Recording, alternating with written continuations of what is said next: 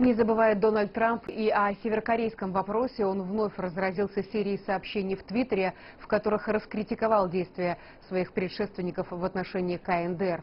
По словам главы Белого экс-президенты и их администрации переговоры вели с Пхеньяном 25 лет, пытались найти компромисс, тратили огромные суммы денег, но все это так и не дало результата. Поэтому в решении корейского кризиса, отмечает Трамп, э, может сработать лишь один способ. В таком именно способе идет речь, он не уточнил, однако ранее республиканец обещал стереть КНДР с лица земли. В начале октября госсекретарь США Рекс Тиллерсон сообщил о стремлении наладить прямой диалог с Пхеньяном. Трамп назвал эти условия пустой тратой времени и посоветовал Тиллерсону быть жестче.